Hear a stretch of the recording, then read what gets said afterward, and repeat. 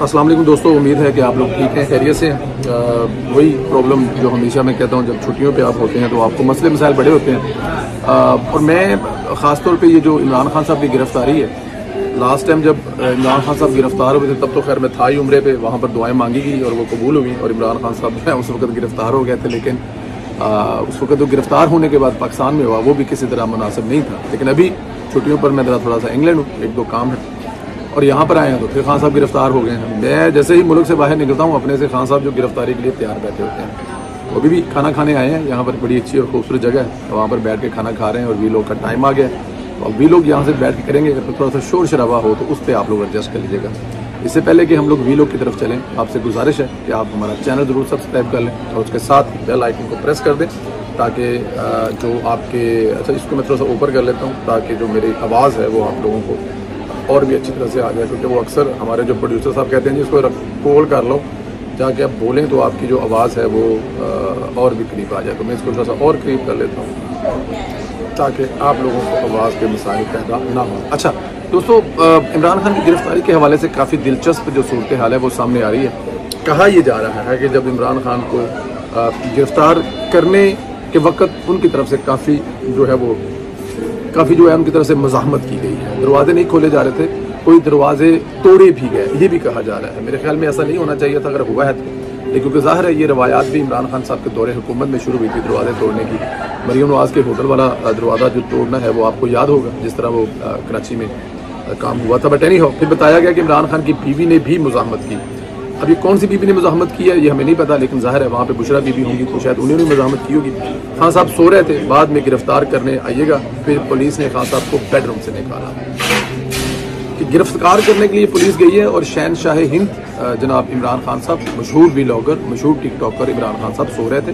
तो उनकी जोजा मोहतरमा ने फरमाया कि अभी साहब सो रहे हैं, आप बाद में तशरीफ़ लाइएगा और गिरफ़्तार कर लीजिएगा। लेकिन ऐसा नहीं हुआ, उनको बेडरूम से जाके, खींच के, तरीक के, निकाल कर गिरफ़्तार किया गया। ऐसा कहा जा रहा है। मसूफ ने कहा कि मुझे कपड़े बदलने दे। और पुलिस को डर था कि मनशियात इस्तेमाल करने वाले मुलजमान कपड़े बदलने के बहाने कोई भी ऐसी वैसी हरकत कर सकते हैं जो बाद में ज़ाहिर है पुलिस पर मुद्दा पड़ेगा, क्योंकि आप लोग वहाँ पर पहुँच गए थे। लेकिन खान साहब ने ये फिर भी हरकत की है तो इसलिए इसमें ज़ाहिर पुलिस का कसूर होना था। तो इसलिए खान साहब को ये टाइम नहीं दिया गया कि कपड़े बदलने लें। वो मनशियात के आदि आपको पता है। अच्छा जी इसलिए पुलिस ने कोई सफ़ेद कलर का सफूफ भी मिला है वहाँ पर। अब सफ़ेद कलर का सफूफ जो मिला है, वो अगर ऐसी बात है तो आप लोगों को पता है वो सफ़ेद सफ़ेद कलर का जो सफूफ है, वो क्या है? आप लोग समझ गए होंगे। इसलिए अब कबल उस वक्त है। ये देखें, अभी ये वो चीज़ें हैं जो आहिस्ता से सामने आ रही है। जैसे जैसे वक्त गुजरेगा, इमरान खान की गिरफ्तारी के किस्से जो हैं, वो सामने आएँगे। गिरफ्तारी के बाद इमरान खान को अटक जेल मुंतकाल करने की इतलात है। इमरान खान की आँखें सूजी हुई हैं, रात भर का किया हुआ नशा सुबह वाजिया तौर पर नज़र आ सकता है। ये हट के इस बात से कि मैं इमरान खान का बड़ा नाकद हूँ। अगर आप उनकी आँखें देखें तो आपको वाकई या तो फिर रात की परेशानी, रात के मसले, रात के मसाइल हैं। इस वजह से ऐसा हो रहा होगा कि खान साहब को जो है वो उनकी आँखों में सोजन होगी या फिर दूसरी रीज़न ज़ाहिर है, नशे करके सोना और सुबह काफ़ी लेट उठना, ये भी एक रीज़न हो सकती है। अच्छा जी, जब इमरान खान को गिरफ़्तार किया गया तो चंद एक वर्कर वहाँ पर आए, खड़े हो गए। पुलिस ने पूछा, क्या कर रहे हो? बोला प्रोटेस्ट कर रहे हैं। फिर एसपी ने कहा, आओ चलते हैं, जाके कहीं अच्छी जगह पे प्रोटेस्ट करते हैं। अब यहाँ पर हम बहुत अहम पॉइंट डिस्कस करूँगा। इमरान खान कहता है, मेरे गिरफ्तारी पर 9 मई का जो अवामी रिएक्शन था, वो फिक्री था। जो नई मई को हुआ, वो क्योंकि तो ज़ाहिर है, जब मुझे पुलिस गिरफ़्तार करेगी, आर्मी गिरफ़्तार करेगी तो जो एक रद्द अमल आया था, वो बड़ा फितरी था। अगर वो फितरी रद्द अमल था तो अभी ये जो इस वक्त हुआ है, इस वक्त किसी किस्म का रद्द अमल क्यों नहीं आया? अभी क्यों लोग बाहर नहीं आए? क्यों लोगों ने बाहर आकर आगे नहीं लगाई और जलाई नहीं? है जिसका मतलब कि उस वक्त खान साहब ने प्लान किया हुआ था, वो फितरी हरगज नहीं था। खास तौर पर आर्मी के जो मुख्तलिफ़ मकाम पर जाके खान साहब के लोगों ने किया था, वो हरगज, हरगिज फितरी फितरी नहीं था, बल्कि खान साहब ने पहले से प्लान किया हुआ था कि अगर मैं गिरफ़्तार हो जाऊँ तो आप लोग ये सब काम करना। अच्छा इससे दो चीज़ें वाजह होती हैं। नौ मई के प्लान करके गया और फौजी तनसीबात जलाई। दूसरी बात यह है कि अगर वो प्री प्लान नहीं था तो फिर खान के लिए मुल्क भर में अभी एक भी बंदा नहीं निकला, जैसे मैं कह रहा हूँ। इसका मतलब है कि मकबूलियत खत्म हो गई है। खान साहब जो है, वो अब अब ये समझे कि ज़ीरो ज़ीरो जो है ना वो खान साहब हो गए हैं। दूसरी बड़ी खबर आ रही है कि अलकादर ट्रस्ट केस में इमरान खान की गिरफ्तारी डाली जा सकती है। ये भी मुमकिन है कि अलकादर ट्रस्ट केस में बुशरा बीबी को गिरफ़्तार कर इमरान खान के साथ ही हवालात में बंद कर दिया जाए। इमरान खान ने आज बहुत कोशिश की कि सुप्रीम कोर्ट से किसी तरह इमरान खान साहब को रिलीफ मिल जाए लेकिन सुप्रीम कोर्ट ने इमरान खान की दरखास्त को डायरी नंबर लगाकर वापस कर दिया यानी इतराज आयद करके दरखास्त वापस कर दिया। अब इमरान खान को पीर तक तो दोबारा रिलीफ मिलने की कोई उम्मीद नहीं है। अब जो होगा पीर के बाद होगा जो हालात नज़र आ रहे हैं इनके मुताबिक बंदयाल को कोई रिलीफ देने की पोजीशन में नहीं है। हमें पिछले भी लोग में भी कह गए हैं कि जो बंदयाल साहब हैं अब इस किस्म का कोई आ, नहीं करेंगे काम क्योंकि उनको पता है उनके जाने के वक्त आ गए हैं, वो अपनी बीवी को भी समझाएँगे, अपने बच्चों को भी समझाएँगे कि खुदा का वास्ता है। ये जो याशी वाली ज़िंदगी आप लोग गुजार रहे हैं, सारी ज़ीरो ज़ीरो हो जाएगी इमरान खान को रिलीफ देने के चक्कर में, लेकिन इमरान खान को रिलीफ मैं फिर भी नहीं दे सकूँगा। अगर एक आध दिन के लिए इमरान को रिलीफ दे दिया तो ये जो आपकी अगली आने वाली ज़िंदगी है, ये किसी बड़ी मतलब के धमाकेदार हो जानी, इसलिए बेहतर ये है कि आप लोग इससे मुड़ जाए।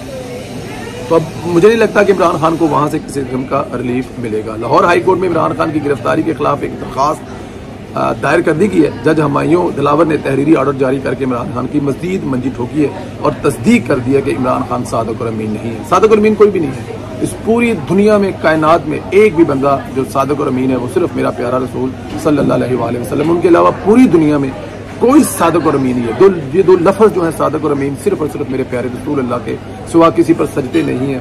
हाँ कोई रंगबाज, कोई ड्रामेबाज, कोई फ़िल्म मेकर या कोई साकब नजार साकब नसार जैसा शैतान, किसी दूसरे शैतान के लफज ये लिख भी दे तो इसका मतलब नहीं है कि वो साकब और अमीन हो जाएगा तो इसलिए सादक और अमीन इमरान खान साहब अनऑफिशियल हैं आज से। मतलब क्या अनऑफिशियल नहीं है। जो उनको जो जो कहा जाता था, हर जगह कहता था कि मुझे पाकिस्तान की सुप्रीम कोर्ट ने, या मुझे पाकिस्तान की अदलिया ने सादक और अमीन करा दिया अब वो कह सकते हैं कि खान साहब, उसी अदलिया ने आपके मुँह पर चपेड़ मारी है, बड़ी भगो कर मारी है। तहरीरी फैसले में कहा गया कि इमरान खान ने झूठा रिकॉर्ड इलेक्शन कमीशन में जमा कराया। इमरान खान ने कौमी खजाने से इसलिए तहफ का, तहफ गलत फ़ायदा उठाया, तोशा खाना से लिए गए तहफ का रिकॉर्ड झूठा साबित हुआ। जज ने कहा कि इमरान खान की बेईमानी पर कोई शक नहीं है। फैसले में कहा गया कि इमरान खान की फ्राहम करदा मालूम बाद में गलत साबित हुई। इमरान खान की बदनीति बगैर किसी शक व शोबे से ज़ाहिर की गई। इमरान खान को इलेक्शन एक्ट के सेक्शन एक सौ चौहत्तर के तहत सजा दी गई है।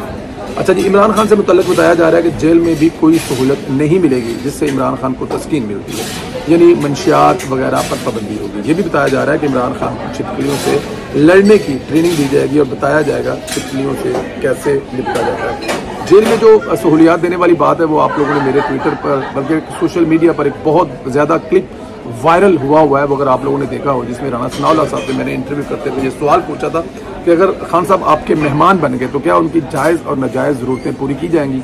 तो उस वक्त राना सनाउल्ला साहब ने कहा था, उनकी किसी किस्म की कोई नजायज़ ज़रूरत पूरी नहीं की जाएगी।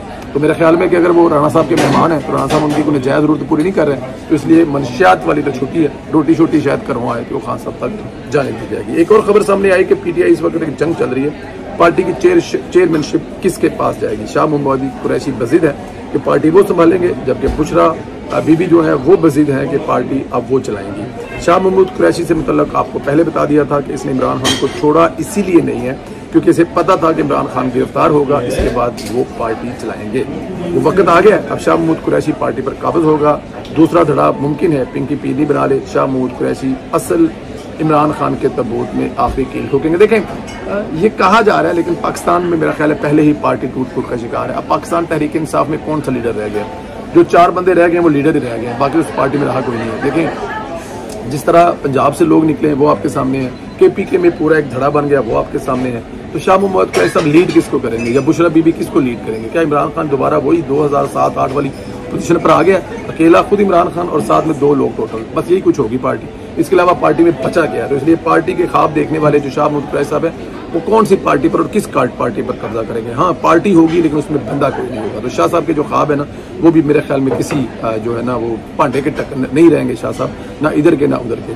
आखिरी खबर यह है कि मुश्तर मफादात कौंसिल ने नई मरदमशुमारी पर इंतबात कराने का फैसला कर लिया यानी अब डिजिटल मरदमशुमारी पर नई खलका बंदियाँ होंगी जिसके बाद इंतबात होंगे। कहा गया है कि नई मरदमशुमारी के, के बाद आबादी बढ़ी है इसलिए हल्का बंदियाँ ज़रूरी हैं यानी अब नई हल्का बंदियाँ होंगी फिर इंतबात होंगे। मुमकिन है इंतबात फरवरी जो कि 2024 है वहाँ तक चले जाएँ। ये बड़ी देर से कहा जा रहा था। आपको पता ये पहले भी कहा जा रहा था, अभी भी कहा जा रहा है कि ये जो इलेक्शन है, ये कुछ महीने लेट हो जाएँगे। मेरे समझ से ये बाहर है क्यों लेट हो जाएँगे, नहीं होने चाहिए। मैं एक जमहूरियत पसंद इंसान हूँ। मैं कभी भी नहीं चाहूँगा कि पाकिस्तान में कोई भी ऐसी बात या कोई भी ऐसा इल्ज़ाम जमहूरी पार्टियों पर है कि जिनकी वजह से इलेक्शन लेट है, लेकिन क्योंकि अब जमहूरी पार्टियाँ अपने वक्त पर हुकूमत छोड़कर जा रही हैं इलेक्शन करवाना अब मेरे ख्याल में जमहूरी पार्टियों का नहीं इलेक्शन कमीशन का काम है।